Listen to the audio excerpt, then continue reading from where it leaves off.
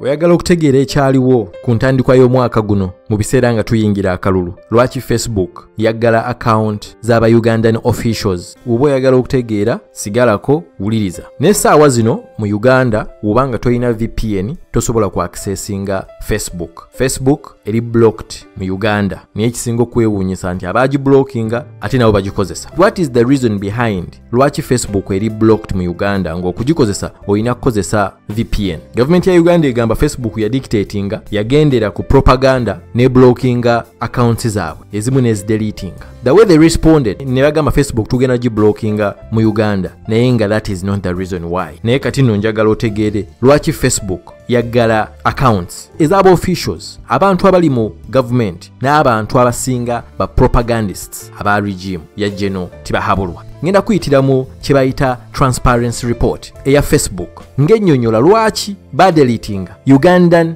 pro museveni accounts. Kati n'ekirala ngenda kuyitira mu report oba investigation eyakolebwa ne code for africa an organization that worked alongside other entities okuzuula amazima gano. Era nga waliwo ne interview eyakolebwa ne alan chiboy ono nga ye senior manager of investigations at code for africa. Interview eno yagikoze ne african institute for investigative journalism. Interview eyo kweri ku youtube wenjogerera. Osobola okugenda n'ogiraba n'otegeeramo okuva mu basajja bennyini abakola investigation eno. Eno investigation eyakolebwa nga bamaze okukonkludinga investigation yaabwe ne bagiweereza ku facebook. Facebook yengeri gye yakebera. Era booba bino bye baali bagigambye bituufu. So facebook teyakeera bukeezi neggalawo accounts zino nedda. Wabula yabeesinga ku report ku final report eyali ekoleddwa ne code for africa kitegeeza odien eri best ku reports bbiri. Report okuva mu code for africa. Era nga investigation eyo yakulibwa omusajja ayitibwa alan chiboy nga ye senior manager owa investigations at code for africa an organization that worked alongside other entities. Ripooti endala yeyitibwa facebook transparency report. Kati nga sinaba nakweyongerayo mwategeera nti facebook yadelitinga oba yablockinga pro 7 accounts mu uganda naye tetwategeera zaali mmeka. According to the report eraga nti badelitinga accounts 426 pages 210 groups nkaaga mu bbiri instagram accounts 153 ngenda kuddiramu. Accounts eza facebook 426 pages 210 groups 62 and 153 instagram accounts. These were deleted. Zino bazideletinga facebook lwaki gye tugenda accounts zino. First of all facebook egamba zaalina omusango. Era the reason lwaki bazideletinga they were accused of taking part in coordinated inauthentic behavior cib coordinated inothetic behavior. Nja kukubulira kyekitegeeza facebook emala okukebera report eyali ekoleddwa ne code for africa okuva mu investigation yaabwe yakonfaminga nti kituufu accounts zino n'endala nnyingi zaali zitekinze part in a coordinated inauthentic behavior. When facebook checked they realized that this was coordinated efforts to manipulate public debate for a strategic goal. What is coordinated inauthentic behavior? Kuno kwe kupostinganga messages ezibuzaabuza abantu okukyusa endowooza zaabwe oba n'okubuzaabuza kati kaŋŋambe nga international community. Nti kino kye kigenda maaso mu uganda. Lwaki gavumenti ekola byekola? Naye nga si kituufu naye ng'eno effort kyovula bagiyita coordinated inauthentic behavior kino kikolebwa. Ebiseera ebisinga bakikola bakozesa hashtag. Ne bakozesa hashtag ne boogera ng'ekigambo ekyo ne kitambula nga bwe bateekako ebifaananyi nga bwe bateekako videos okukyusa abantu n'okugezaako okulimba abantu nti kino kye kigenda mu maaso naye nga actually si kituufu nga baagala kuyisaawo message eyaabwe babuzaabuze minds z'abantu balage ne international community nti gavumenti ekola ebintu bino because of this. Mweno report ekyaggazaawo accounts zino. What was the coordinated inauthentic behavior? Biki bye baakolanga? Baddira ne bayiiya hashtag eyitibwa stop hooliganism. Baddira ne bayiiya hashtag eyitibwa stop hooliganism. Okwo nga baddira abavubuka nga baddira ebifaananyi by'abavubuka abookya ebipiira abavubuka abakutta ebijambiya abavubuka ababba ebintu by'abantu abavubuka abayokya ennyumba z'abantu abavubuka abatandika strikes oba protests. Ebifaananyi ebyo mubijjukira. Abasinga mwalabanga ebifaananyi bino naye nga temumanyi na baani babipostinga naye nga ebifaananyi ebyo ebisinga tebyalina bya mu uganda. Kati olwo ntandika ripooti balabye ebifaananyi bino balabye ebifaananyi bino nga bitambula mu uganda nga bigamba stop hooliganism. Bagenda okulaba nga biyitiridde nga accounts nnyingi nnyo ezisharinga ebifaananyi bino ebisinga message yabeerangako nga bavuma abawagizi ba bobi wine nga bavuma abawagira bobi wine abo abali mu people power. Nga bateeka ebifaananyi ebyo abookya ebipiira ababba ebintu by'abantu abookya amayumba g'abantu nga olaba ebifaananyi ebyo nga kigambibwa nti abawagizi bakyagulanyi be baali bakola ebintu ebyo. Kati nga gavumenti ekola byonna byekola estopinge those acts that were going on. Kaakati okuba nti byali bikyalingiddwa nnyo code for africa yafuna interest n'etandika okuinvestigatinga ebifaananyi bino bivaawa. Baani ababisharinga kituufu ebifaananyi bino these acts are happening in uganda. Is this hooliganism there in uganda? Kyebagamba nti stop this hooliganism ne batandika okunoonyereza.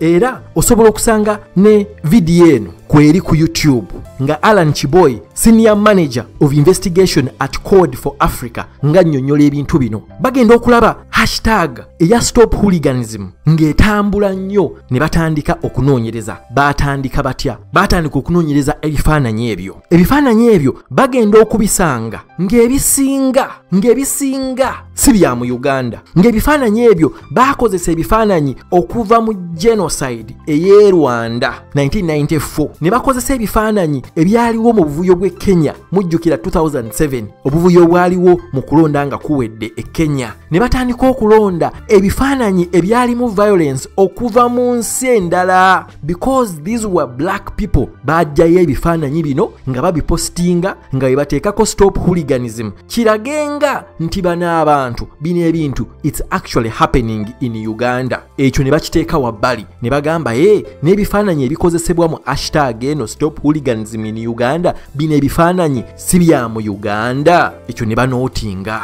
nti ebifaananyi ebisinga si bya mu uganda nkugambye ebimu byali bya kenya ebirala bya rwanda ne mu nsi endala. Ne banootinga ne bagamba nti ebifaananyi bino n'ekirala si bya kaakati. They are saying stop hooliganism in uganda insinuating that this is happening now. Ne actually not only nti bino ebifaananyi si bya mu uganda naye bino ebifaananyi bya dda. Ne banootinga. Kaakati ne batandika okunoonyereza ku accounts ezaali zipostinga ebifaananyi bino. Baani abakola omulimu guno? Code for africa. Ne other institutions endala beegatta ne batandika okunoonyereza. Ebintu bino mbitegeera ntya? Alan chiboy gwe nkugambye senior manager of investigation at code for africa yakoze interview ne african institute for investigative journalism. Kati nga tukyagenda mu maaso baatandika okunoonyereza accounts ezipostinga ebifaananyi bino. Accounts ezitambuza hashtag eya stop hooliganism mu uganda. Bategeere nga kye baagala okumanya accounts zino zeemanyi somehow accounts zino zeemanyi oba tezeemanyi wewali we tuddirayo coordinated inauthentic behavior. Accounts ezitambuza hashtag eno zeemanyi batandika okunoonyereza. Bagenda okuzuula nti account emu bwe yapostinganga. Neteekayo ebifaananyi ebyo ku feeka accounts zaabwe ezimu. Waayitanga eddakiika ntono nnyo nga n'accounts endala zipostinga mu kiseera kyekimu mu ssaawa ya ddakiika nga kumi nga zonna zonna posts ezo zipostinga ekintu kyekimu hashtag eyo. Ne bagamba hey, so maybe these are coordinated activities. Ekyo ne bakinootinga nti abantu bano buli bapostinga bapostinga ku time yeemu. Its just a difference of few minutes. Ne banootinga ne bateeka wabbali. Bagenda okuzuula nga accounts nga accounts zennyini ezipostinga ebintu bino ate ze zigenda ku accounts endala ne zitandika okukomentinga. Agenze ku akawunti ye n'apostinga ebifaananyi bino ne hashtag stop hooliganism. Ate ye akawunti n'egenda ku akawunti endala epostinze ebifaananyi bye bimu n'etandika okukomentinga nga weevumirira n'etandika okushiyaringa ne bagamba ok zino akawunti zeemanyi era zikolagana. Ekirala akawunti zino zaali tezibadde awo nti otunulira akawunti n'ogamba nti zimazeeko ebbanga ku facebook ebbanga ly'amaanyi oba balina ba followers oba ekiri awo nedda. Akawunti ezisinga actually zaalina mpya. Ne banootinga nti these were fake accounts. Nga zonna we bazilisitinga nga kyebagezaako okukola baali balaga abantu nti this is what is happening mu uganda. Nti kino kyekigenda maaso mu uganda era nga bagamba abantu stop hooliganism stop hooliganism. Naye nga comments ezasinganga okubaako comments ezivuma bobi wine comments eziraga nti abawagizi ba bobi wine be bakola ebintu bino. Era nga accounts zino zalinga ku facebook ne ku twitter. Naye bagendanga ne bapositinga ku facebook nga bagenda nga bapositinga ne ku twitter.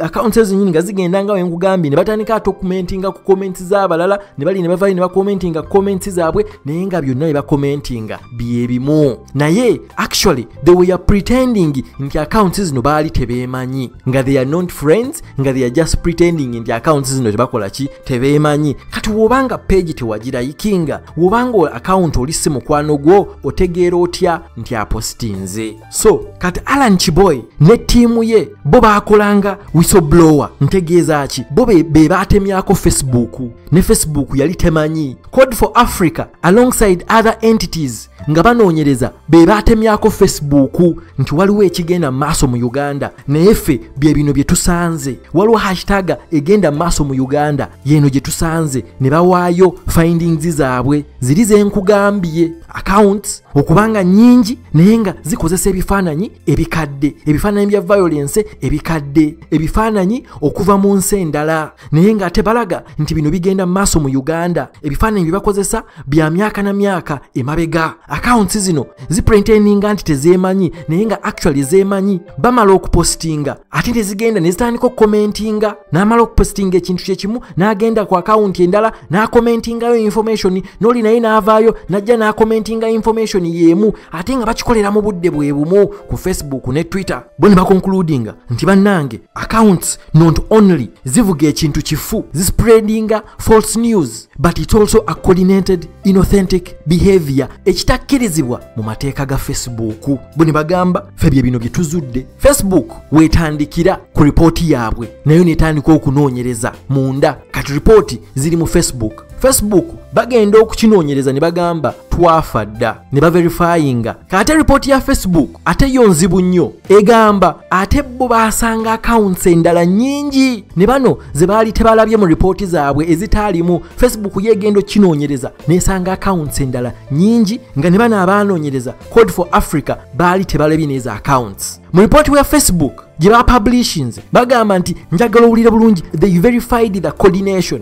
Ngamba coordination of inauthentic behavior. Era ne bagyattributinga wulira kano facebook coordination yeeyo ey'okutambuza propaganda omufu baja attributinga to some people in the ministry of ict mu uganda. Can you imagine? Facebook in its report said they had verified the coordination and attributed some to the ministry of ict in uganda. Era senior manager of investigation at code for africa alan chiboy weyabadde ng'ayogerako ne african institute for investigative journalism yabagambye naye kennyini until up to now tamanyi how facebook came to that conclusion. Bo baawa facebook report naye ate facebook byo bye yasanga ate byali binene n'okusinga ripooti yaabwe. Era alan boya agamba tamanyi na kumanya engeri ate gye baddira ripooti zino ne bazaataakinga nti ebintu ebimu coordination eno yali eva mu ict ministry. Era n'agamba nti naye tosobola kubanenya their processes are internal and therefore